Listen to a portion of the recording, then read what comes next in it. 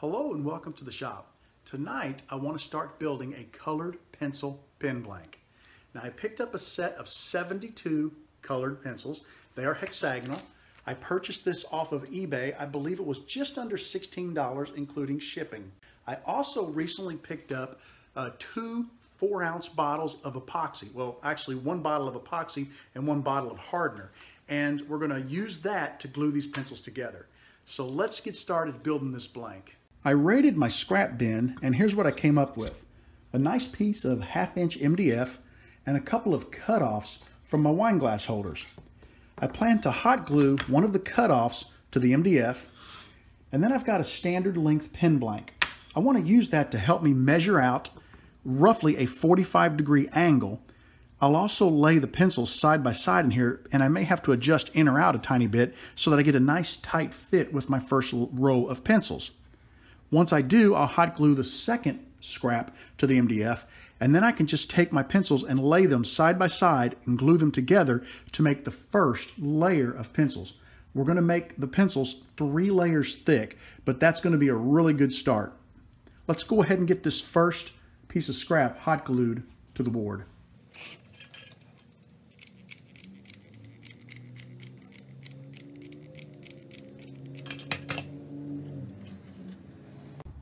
I put the scrap down at a bit of an angle and I'll show you what I mean here in a second.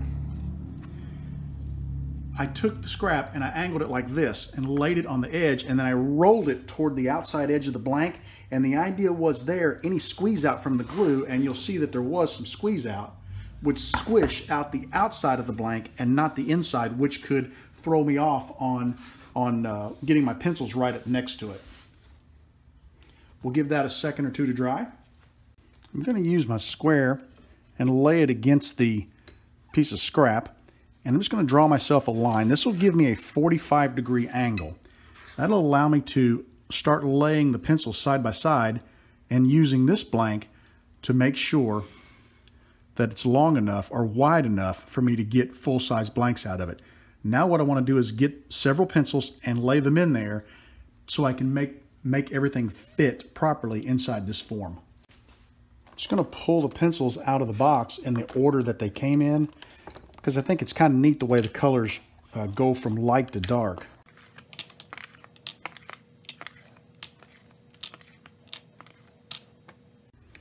Not quite there yet, a couple of more pencils.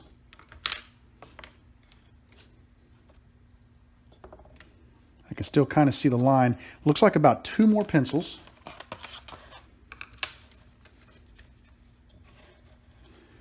You can kind of see my line right there. That ought to be plenty for me to get several blanks. If I start here, that's one, two, three, at least three blanks, possibly four. And uh, then I'll be able to take the end pieces and maybe glue them together uh, to get another blank. Go ahead now, and what I want to do is snug everything up. I think that's going to be perfect. Now I want to get this scrap wood hot glued to the backer board.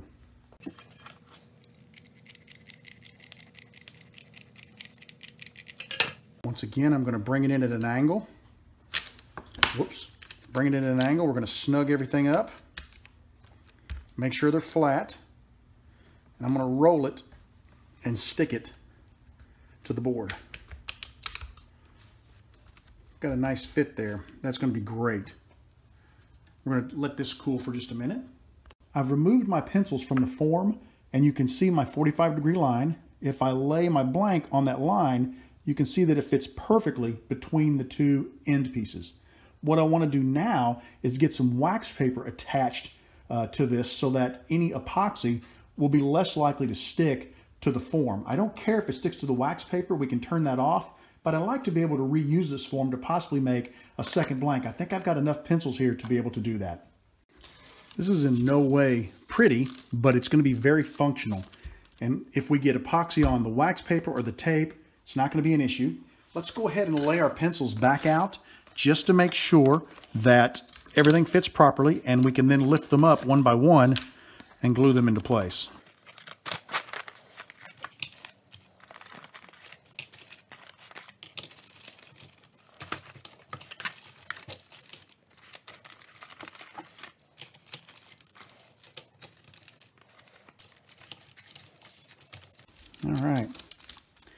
Looks really nice. Try to get all the backs of the pencils level here. And I really don't have to worry about it right now. There's no epoxy on there. But we want to make sure that everything is, is uh, level across the back. That way um, we'll get the most out of our blank. I fiddled around with the form a little bit and I've, I've got everything fitting really nicely. Uh, I think I do need to make one adjustment. I need a block across the back here so that I can push the pencils back against it and keep this back edge perfectly level. And the reason why is I'll get more out of my blank if the pencils are level than if they're, you know, off like this. So I'm going to work on that. We'll get a block put in here. We'll get it covered in wax paper, and then we'll come back and start our glue up. I'm ready to start my glue up. I just spread a little bit of painter's tape on the back of this board to give me a place to mix. That's probably not going to be enough. Put a little more on there. There we go. And then we'll mix about the same amount.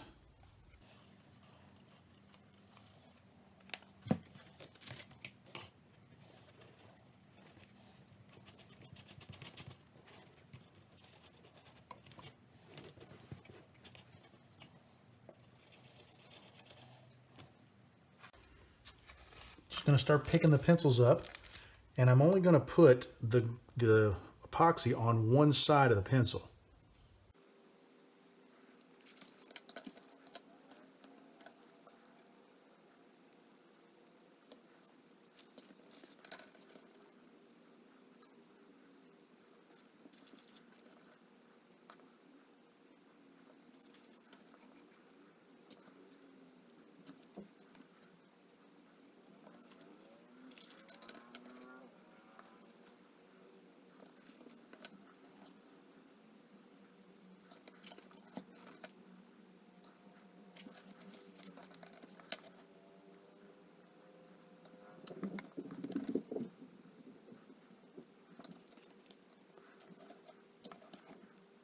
I may not have mixed up enough epoxy here, so we're going to get a little bit more.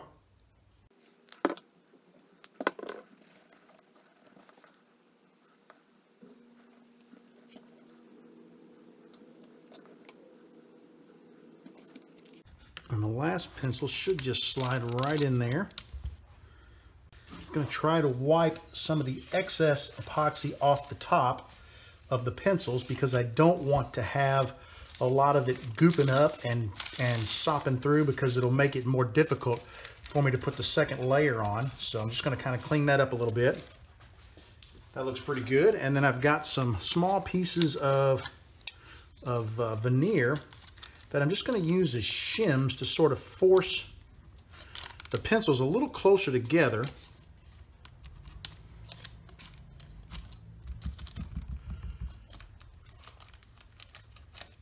I think everything is looking really good. I'm going to go ahead and leave this to dry. It's a five minute epoxy, so I'll give it 10, 15 minutes. I'll come back. That's that's the set time. After, I think it's, I'll read the instructions. I believe it's 20 minutes. It's fully cured. And I'll come back at that time and we'll put a second layer of pencils on top of these. This epoxy that I'm using says that it sets in five minutes and it's usable strength in 20 minutes. And it's been about 25 since I did my first coat uh, and it fully dries in 24 hours. So I think it's probably dry enough for me to go ahead and put a second layer of colored pencils in this blank. I'm gonna move this around a little bit. It's kind of hard to mix because my camera tripod is right at the base of this, uh, this little block that I'm using uh, as a form. And it's a little bit difficult. I didn't want to be bumping the camera. Okay, we'll just start bringing out our pencils in order once again. And I'll go ahead and slap a little bit of epoxy on them. And really, I need to put epoxy on, let's see. I want to put it on the, on the, put it on the side and push this down because I want these pencils to interlock. And then I'll come back and we'll figure this out here in a second. Let's put it, let's just go ahead and put the epoxy on like this because I need the pencils to have epoxy on the side as well as the bottom so that they can, there we go, they can fit together the geometric shape of a hexagon can squeeze together or can fit together and give me a nice, nice blank.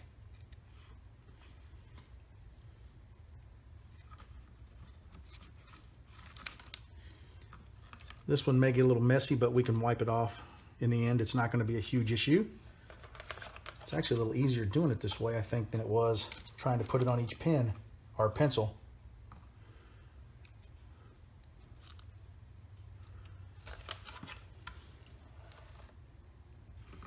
Of course, I'm using a little bit more epoxy for this round, but that's all right. We'll mix up more if we need it. Let's get this shim out of the way.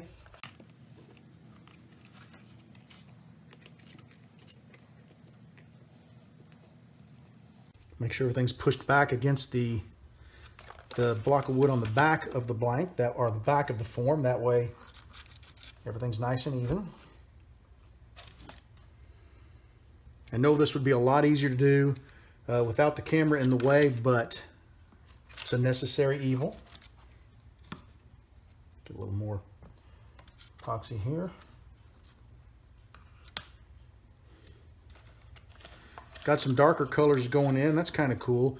I could have stayed with just the brighter colors, but I just sort of wanted to use the colors uh, as they came out of the box. They kind of graduate from light to dark and and then back to some more colorful colorful uh, pencils. So just want to kind of use them all.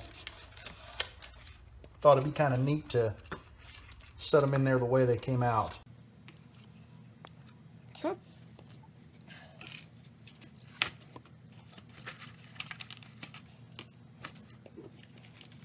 Looks like I'm at the point where I'm going to have to mix up just a little bit more epoxy.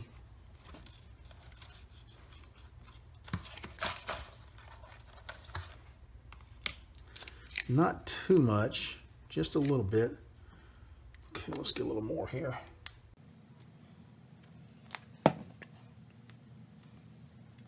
There we go.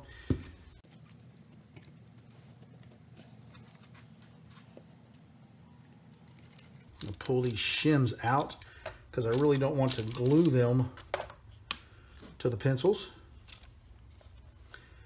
I don't really guess it would matter, but uh,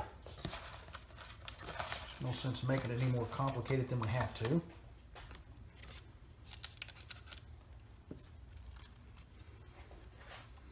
It's like about two more pencils ought to have it.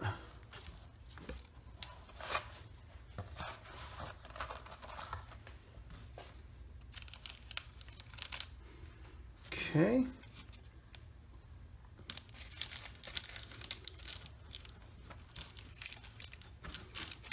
I certainly am making a mess, but you know what? That's all right. A mess never hurt anybody, did it? Okay, last pencil. Well, you know what? That's not going to go in there. Let me get a paper towel. We'll wipe this one off and we'll clean up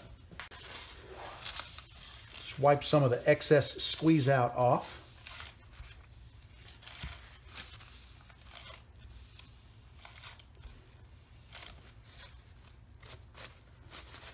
I'll never get it perfect, but I'll get enough of it off where I can get one more layer on here. Push everything back toward the back of the form.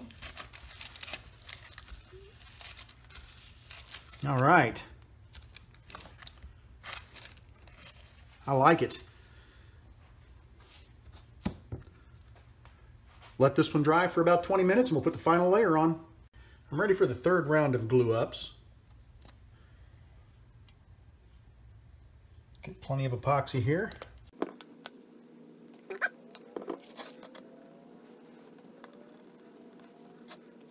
We'll just start spreading it on the blanks again, just like we did last time.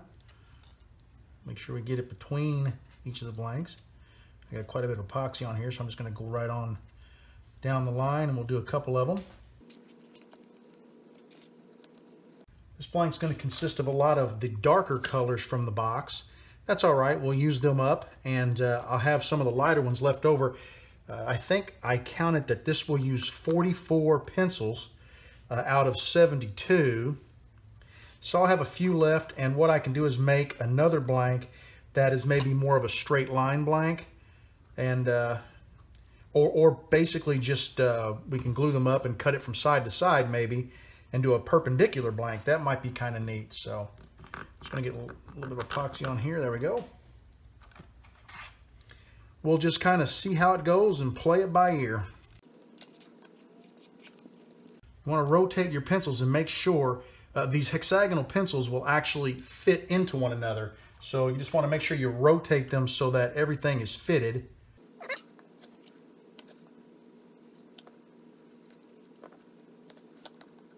Using a little bit more epoxy this round than I did the last couple of rounds. Uh, I'm not too concerned about that because what will happen is uh, it'll run down between the blanks and it should kind of help to fill if there are any gaps. But truthfully, these pencils fit together relatively tightly. I don't really anticipate there being uh, many, if any, gaps. Get some of this wax paper out of the way here. There's a lot of extra epoxy here, so I'm gonna try to get some of it down in here. I think I'll, I may end up with a pencil on the end here. I'm not sure. Let's find out. Let's lay some of these in there.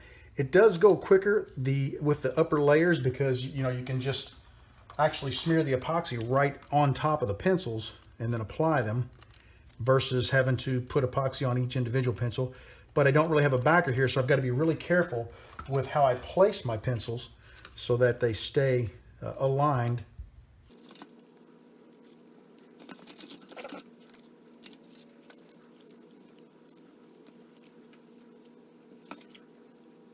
My blank looks pretty good. Uh, I'm not going to worry about any epoxy that is squeezed out on top of the blank because this is the outside and that will turn off. It's not going to affect the alignment of the pencils, so we're not going to worry about it. At this point, I'm going to walk away and leave this set overnight and we'll come back 24 hours from now and remove this blank from the form and start thinking about how we want to cut it to make our individual blanks. My blank has had a full 24 hours to dry and I'm ready to remove it from the form. Looks like it's definitely got the wax paper glued to it. We can pull a lot of that off. Oh, it's coming off pretty good. Not a problem. The rest of that will turn off, no issue. And there we have a colored pencil blank. Next up, we need to get this cut into individual blanks so that they can be used. I drew a 45 degree line on my blank and then I went ahead and laid a normal size blank on here and was able to get four separate blanks, full size blanks out of this glue up. Now what I want to do is go ahead and cut them and separate them from the blank. I ended up losing the video where I cut these blanks out on the bandsaw, but I think you kind of got the gist of it. I had my diagonal lines drawn and I just basically ran this through the blade. I was able to get four full-size blanks, I've got two nice cutoffs that I can get at least one, maybe two single blanks out of these. So I'm very happy with, with how this turned out. I'd like to thank you for joining me in the shop tonight. I could not be happier with how these blanks turned out. The only thing left to do is to square the end of the blank, but you know, I'm gonna leave that until I get ready to turn this into a pen and I can square it whenever I split the blank into two separate halves. I'd like to thank you for joining me in the shop tonight. I really hope you enjoyed this video. I am super psyched about these blanks. I look forward to turning them into pins very soon. Uh, I want you to know that you are always welcome in my shop. Come back and see me again real soon.